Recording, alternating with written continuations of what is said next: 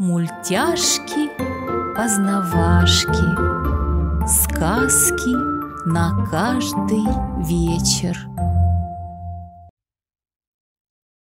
Сейчас я вам прочитаю сказку про маленького ослика. Сказка называется «Заветная мечта». Жил-был на свете маленький ослик. Он всегда о чем-нибудь мечтал. Как-то у него целую неделю была заветная мечта. Он хотел кого-нибудь спасти. В сказках, которые бабушка читала ослику перед сном, всегда кто-нибудь кого-нибудь спасал. Получалось, что на свете полным-полно спасателей, и все их любят, ценят и благодарят. А я вот еще ни разу в жизни никого не спас. С грустью думал маленький ослик. Он совсем потерял покой, сон и аппетит. Разве можно спокойно есть, когда кто-то наверняка попал в беду и зовет на помощь?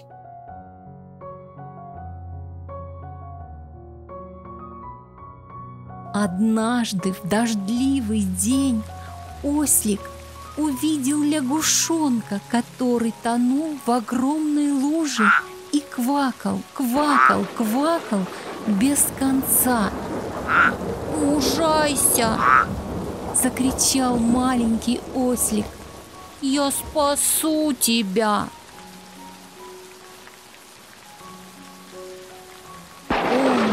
вытащил лягушонка из лужи и хотел сделать ему искусственное дыхание.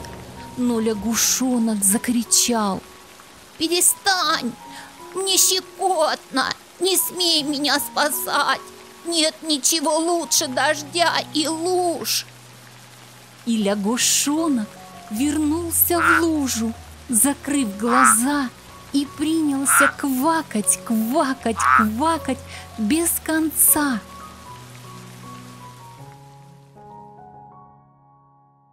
У дедушки Ослика тоже была заветная мечта. С давних пор он мечтал поймать кита или хоть какую-нибудь рыбу – А ослик тем временем увидел ящерку. Она неподвижно лежала на раскаленном камне. «Солнечный удар!» — крикнул ослик. «Сейчас я вас спасу от зноя!» Он зачерпнул панамкой воду из ручья — и вылил ее на ящерку. «Как тебе не стыдно?» Сказала ящерка. «Нет ничего на свете лучше зноя!» И она вернулась на раскаленный камень.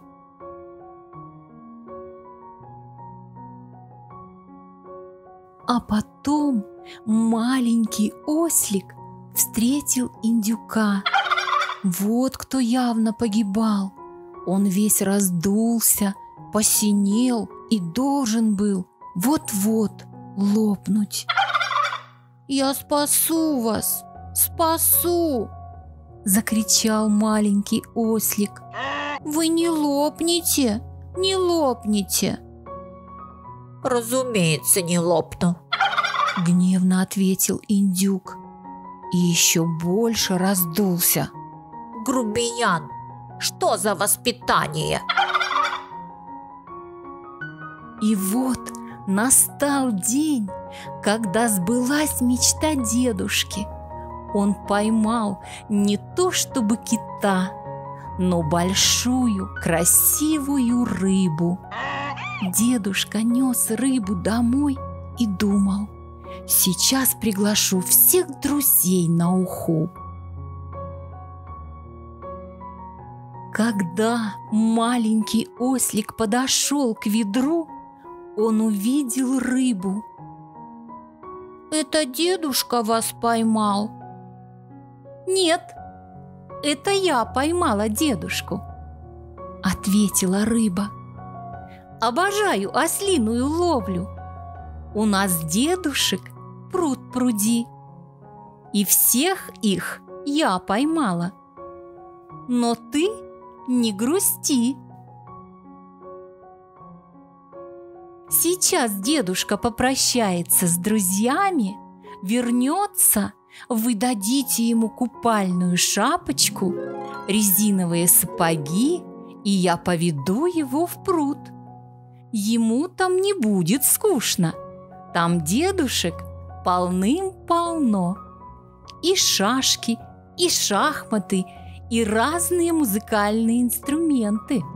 Маленький ослик с ужасом представил себе, как его дедушка сидит на дне пруда, грустно играет на арфе и поет печальный романс о том, что он никогда больше не вернется домой и никогда не увидит внука. «Надо спасать дедушку!» – подумал маленький ослик и выпустил рыбу в пруд. «Вы тут дедушку и подождете. Он придет, обязательно придет. И не один, а с друзьями. Только чтобы непременно с друзьями», — сказала рыба.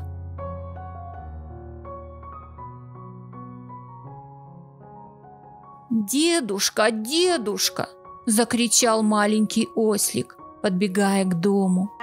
«Моя мечта сбылась! Я тебя спас!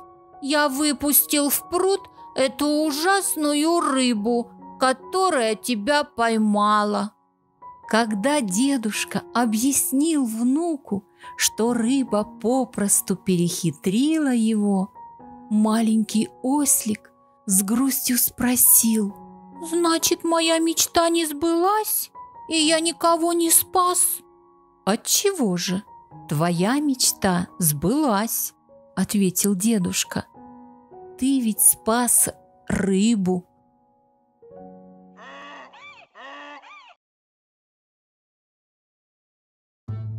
Вот и сказки конец. А кто слушал, молодец. До новых встреч!